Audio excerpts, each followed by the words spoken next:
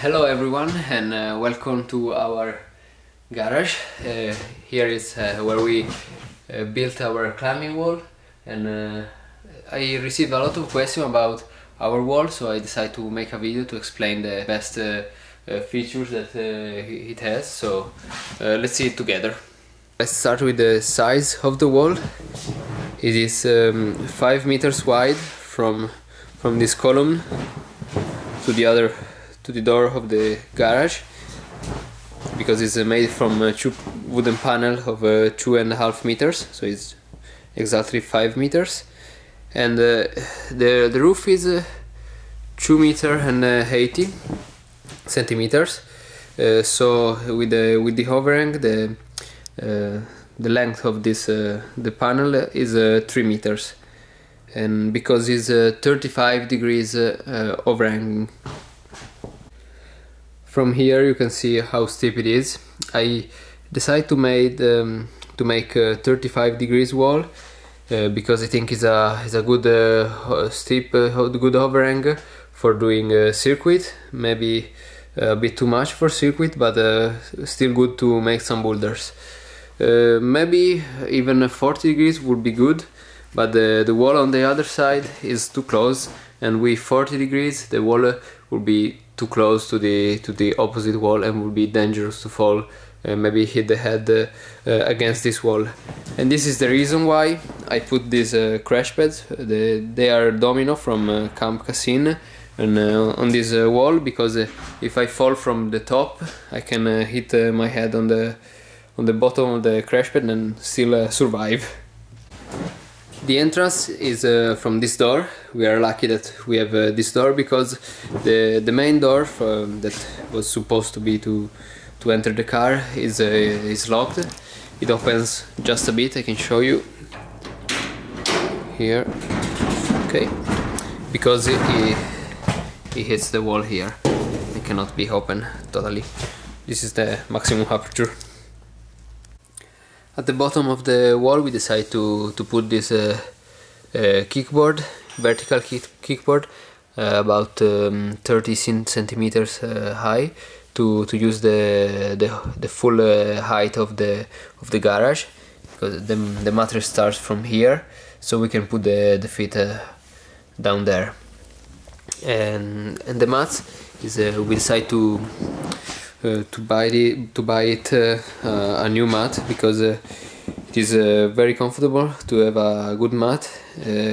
we were um, thinking about using some old mattress from beds, but it would be maybe too um, dusty and not so comfortable to, to walk on. So we we bought this the mattress for um, for a new, and it's five meters long and the width is uh, two and a half meter like here.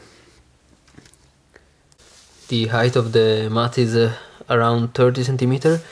Maybe it could be even uh, thinner because it's uh, maybe too much. It's not very tall. I never fell like from the very top uh, with my back on this mat. And uh, I think is is enough. And even 20 centimeter would be okay for this height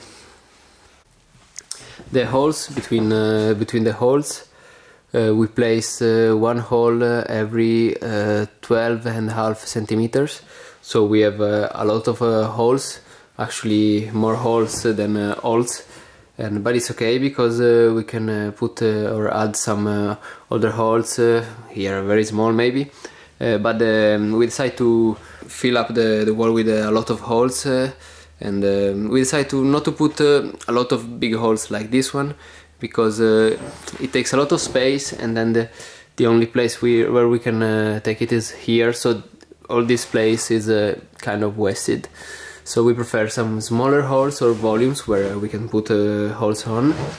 And uh, here a big help came from my sponsor HRT and fiction holes and um, and uh, 300 and the Boulder Special they are the same brand HRT are this one Fiction Hole then uh, uh, Boulder Special is here and they sent me a lot of holes and I'm quite lucky because maybe the most expensive part of the wall would be the, the holes So let's show how the structure of the wall behind is, uh, is made. We can go from here around this column. Have to turn on a light, too much. And uh, here is the back of the wall.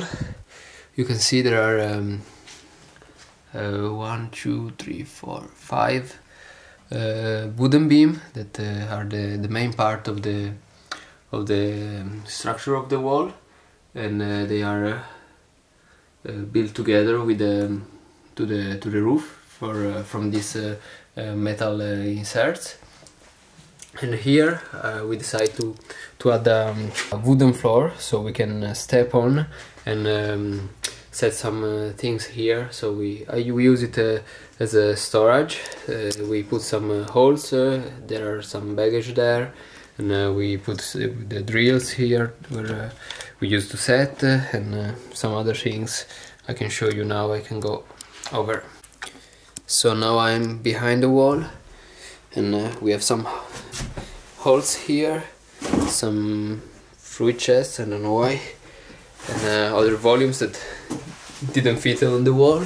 And uh, here we have um, a shelf for the for some baggages. And uh, yeah this is the back of the wall where we we were uh, quite precise here. We sign every every hole with um, with a T-nut. These are the metal frames that uh, were made from from uh, a friend of us.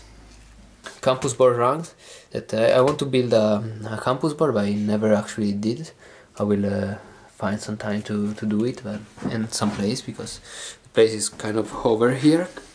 Okay so this is the the entrance door and uh, we decided to add that every climber who came here to climb or just to watch has to, to sign. We have uh, some uh, um, some of the strongest climber in the world we have uh, Alex Megos here, uh, Andy Goulston, Adam Ondra that signed himself uh, as uh, Adamino Ondra, and then uh, I don't know where is my sign. Uh, here, my sign, and uh, my father, and a lot of climbers from. my father is not a climber, a lot of climbers from Arco from around the world who who tried the wall or even just came to to watch it.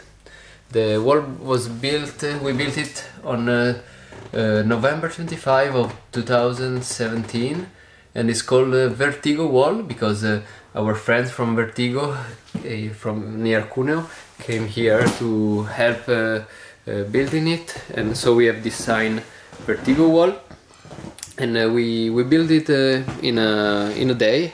We started from the morning and uh, finished in the in the evening. Uh, so it was quite a fast work, but we were uh, six people working on it the whole day, so it was uh, fast but uh, very committing.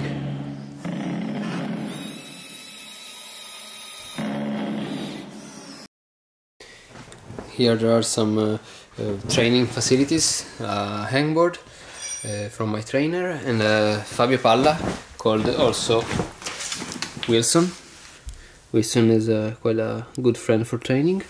And uh, we have a ladder and uh, we have a bar here to some to do some uh, pull-ups. And we have some uh, decoration sign IFSC and we have uh, one top sign from a World Cup. It's from Wujiang from China. And some um, Tibetan flags that Sarah was the interior designer of the place. I was just a, a route setter, and uh, a lot of uh, spider webs, but uh, we will clean it. To remember the the circuit we do, we we start to set something uh, with the numbers with different uh, colors. For now, we have like white tape and gray, purple, red, and some other colors and we have also red tape and here behind we have we have a lot of tapes that we didn't use it uh, already.